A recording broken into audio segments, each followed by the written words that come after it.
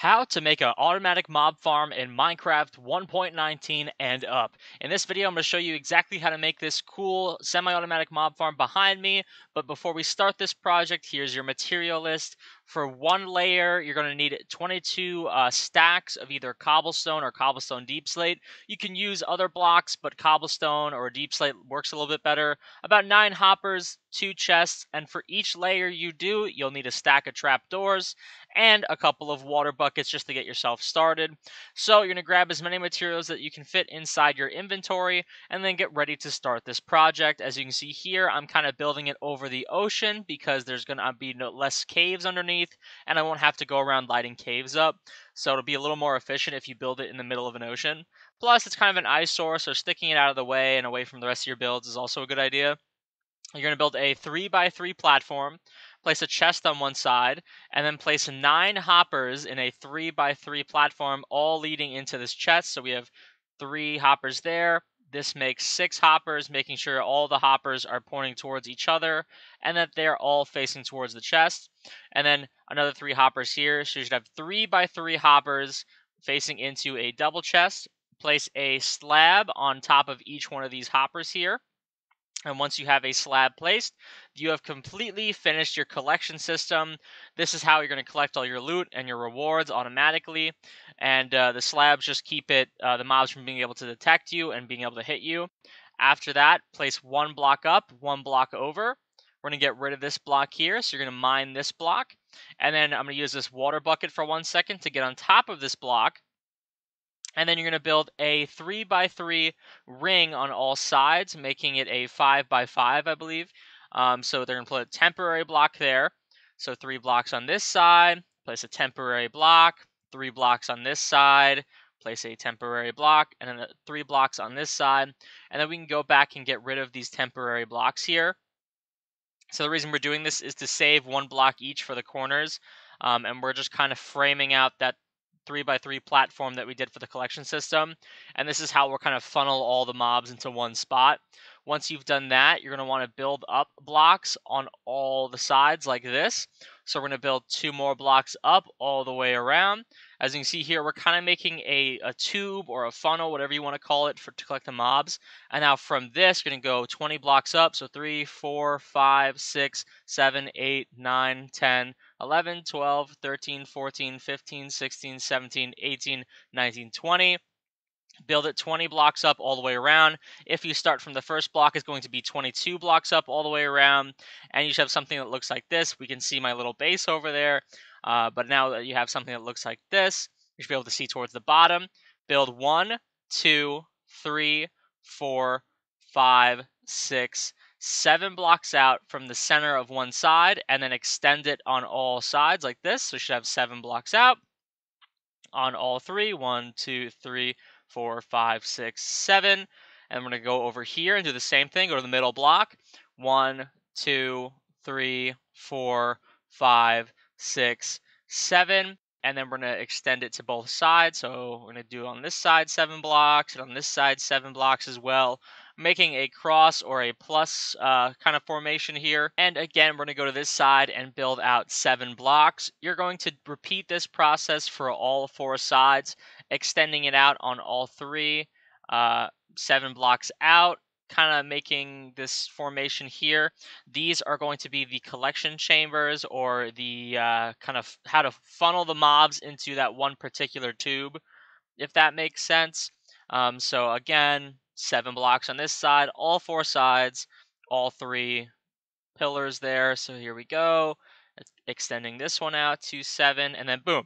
So now that we have something that looks like this, you will uh, want to take a temporary block, place it there and there, there. We can get rid of this one. I didn't mean to place that one. Temporary block here, and then one next to it.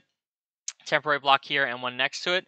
And once you have that, you can get rid of these temporary blocks. So we're going to get rid of this block, this block, uh, this block, and the one over here, this block right here. So you should have uh, kind of four blocks placed that we're going to use to kind of loop around this. Um, but it shouldn't block the chambers we just made. So then we're going to take this and you're going to kind of go around the pathway we just made here. So I'm going to go and extend this uh, eight blocks out to the edge here. And again, we're doing this method to try and save on some corner blocks. If you want to skip this and just loop all the way around and kind of follow the path one block up, you'll definitely save some time, but it'll cost you uh, a couple more stacks of cobblestone to get to this.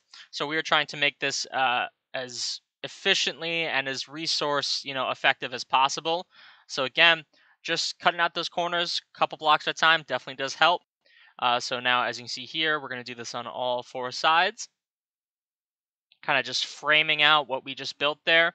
And then once we have this, let me finish this last one here real quick. Once we have this, we can uh, start to cap these. And what I mean by cap these is going to any one of these sides. Uh, you're going to have to do this for all of these. Place a temporary block, a block behind it, and then a block on either side to kind of cap this. And then mine out that uh, temporary block we place in the front here. So you should have something that looks like this. And then do this for all four sides. So again, temporary block, a block behind it, and two blocks next to that block. And then mining out the temporary block. We have two more sides to do. Block, tempor well, temporary block, block behind it, two blocks next to it, mining out the temporary block. So it's a pretty simple concept. And then finally, we just have to do this on one more side here. So block, a temporary block, block, block, block, block, block. No, you get it. So now that we've removed that, we can simply take our water buckets. You're going to need two water buckets and place them uh, like so. And it should stop just before the end of the, the uh, trap here. You don't want it to overflow because then the water will travel to the bottom. You know you did this right if it stops just at the end with no gap and no spacing in between. And by using those two water buckets, we can uh, create an infinite water source in the middle and just not even have to go back down to refill our buckets, just using the water that we have up here already. So I'm going to just make an infinite water source, grab some more water, and make sure all four sides have water, and it should all be facing towards the middle like so, with no gaps, and this is how we are going to funnel our mobs into one particular space. Now that we have that, grab your building blocks again, build two blocks high on the perimeter we just made, and go all the way around placing two blocks high on everything that you just placed. So we're going to kind of follow this plus or cross, whatever you want to call it, and you're going to build two more blocks higher than what we already built. So if you want to skip some effort and some time, you can just start off doing three blocks high. I recommend placing the water first so you're not getting trapped and you're not fighting the water trying to get back up. It's a little easier the way I'm showing you how to do it, but hey, whatever works for you works for you, you know? Uh, so again, here we are, placing our blocks. Three blocks high, two blocks high, uh, depending on which method you're going with. Two blocks high, all the way around, following this perimeter. It's a pretty simple concept once you get the hang of it. And this is a super efficient way to kind of keep the mobs from being able to jump out after we've captured them. I've seen a lot of people try and do it to like just two blocks tall and it just doesn't work out because sometimes those spiders are able to crawl back up and you're losing that efficiency. But regardless, once you have this, it's just a matter of going here and you're going to build uh, seven blocks out from this side and you're going to connect them. And if this doesn't make sense, we want to connect them up uh, so almost like you're uh, completing the square. As you can see here, we're skipping that corner again. You don't have to. It's just me. Uh, so again, now we've connected them up. You show something that looks like this. We're going to do the same thing on this side. So again, one, two, three, four, five, six, seven, and then eight. And we're going to skip the corner. So we'll go one block over like this. One, two, three, four, five, six, seven on this side because we already placed one block on that side. And then one, two, three, four, five, six, seven, eight. Skipping the corner block. This is where the corner would be. One, two, three, four, five, six, seven. Again, we're just kind of framing this out. You should have a giant uh, square at the end of this if you did it correctly. Uh, and all we're doing here is just building a spawning platform for our mobs to spawn. This is going to be your first platform. If you want to add more platforms later, like I'm going to, you're more than welcome to. But once you have this, you're going to go ahead and fill in all these four gaps that we have right here where the space is. Fill these in with solid blocks, not slabs, solid blocks. So we're going to go ahead and fill all these in with our cobbled deepslate. So that way we can build a spawning platform for all of our mobs to spawn. There's a way to do this to avoid spiders, but I personally like the spider drops. And once you've filled this all in, you have a nice flat surface on each corner. You're going to take any kind of trapdoor and place them along the side like so, and then flick them in the down position like so. So we're going to flick these all in the down position. Go to this side, place them all like this, flick them in the down position. The reason we do this is because a trapdoor that is facing downwards does not count as a uh, down block. Mobs see it as the ability to walk across it, but since it's in the down position, they will fall into the water and the resources will get collected right away. Pretty simple concept, to be honest.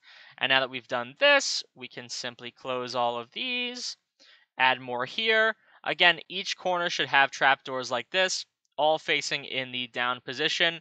You're going to simply follow the cross-like formation we did earlier, and as long as you're matching that formation and each block has a trap door, you'll definitely have spaces for the mobs not only to spawn, but to walk off and get collected into the chamber here.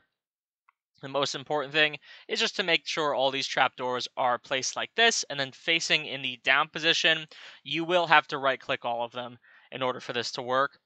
But now that we've done this, you can simply take your full blocks or your building blocks and build one, two, three blocks tall, and then go and follow the perimeter, making a giant square. So again, we're three blocks tall, three full building blocks, and we're just going to go around the entire perimeter of this build, filling it in with three blocks tall, just to get uh, the, the height because you can either add more layers to this if you want to. You can add up to four to five layers. You can build this underground. You can build it starting at the ground. The reason we're building it so far up is now that we now that it's so high up, you do not have to make a AFK spot. You do not have to uh, make a different killing method. Once they fall, it's a lot easier. So we're going to do two layers for this one, but if you want to do it this way, you can just build three blocks tall and then add a roof and then that'll be the finished project. But I'll show you how to add some layers as well. And if you want to skip towards the end where I will show you how to add a roof or a final touch on this thing, I will show you that as well. Do not worry. But as you can see here, all I'm doing, three blocks tall, all the way around the perimeter of this entire build. I know this is kind of a tedious, it can be annoying. If you want to skip through this, it's totally fine. I just show you because I had some people give me questions about it, and I just want to make sure I address all of your questions uh, in this video. So here we are, three blocks tall, all the way around. So there we go. So now that we've completed this three block tall all the way around, uh, what I'm going to do is I'm going to build another layer on top of this, following exactly what I did on the layer below. Every layer should look like this. So as you can see, I added uh, another four spawning platforms and then went around again and added another three layers. Once you're ready to add the roof, it's pretty simple. Just take your slabs or any full blocks. Slabs is definitely a more efficient way to do this, but the project is calculated for full building blocks as well. So if you use full building blocks, that's fine. Using full building blocks is also easier if you want to add more layers uh, in the future. Like if you get some more building blocks and go, hey, I want to add another layer, that's totally fine. If you don't want to add another layer, all you have to do is take some slabs, some cobblestone slabs, and just completely cover the roof of this thing. Uh, I also prefer slabs because it prevents mobs or other things from spawning on top of the farm rather than in the farm, because that is a huge thing. Um, if you do use solid blocks for the top, I recommend that you throw a bunch of torches up there to reduce spawn rates. That way you don't have anything, you know, potentially taking up the space of a mob up there that you would want to get collected into the farm. But like I said, it's a pretty simple concept. All you're going to want to do is go all the way around and fill this entirely in with slabs, making almost a cap or some sort of uh, whatever you want to call it. As long as there's no light being able to shine into this farm, you'll be all right. Uh, make sure we don't have any sticking up like this. If there's any gaps, it'll reduce the rate of the farm. But so now we're going to go ahead and fill all of this in real quick. So once we have that all filled in, you have this entire thing covered off. We can head back down towards the bottom of the farm. And if we go here, you can see we have a completed farm. This is this is it. Once you're ready to collect your mobs your loot, you can head over there and just start punching them. But I recommend throwing some torches down towards the base. So again, same thing with spawn rates as I said before. When you're ready to harvest the mobs, just give them one punch. It is at the perfect height where you don't have to use any weapons, any swords. You can just use your hand. You're not losing durability. And as you can see, all of our loot was already getting collected into the farm. If you like this video, please let me know. If it was helpful, please let me know. If you have suggestions, please let me know. Thank you so much. I hope you enjoy.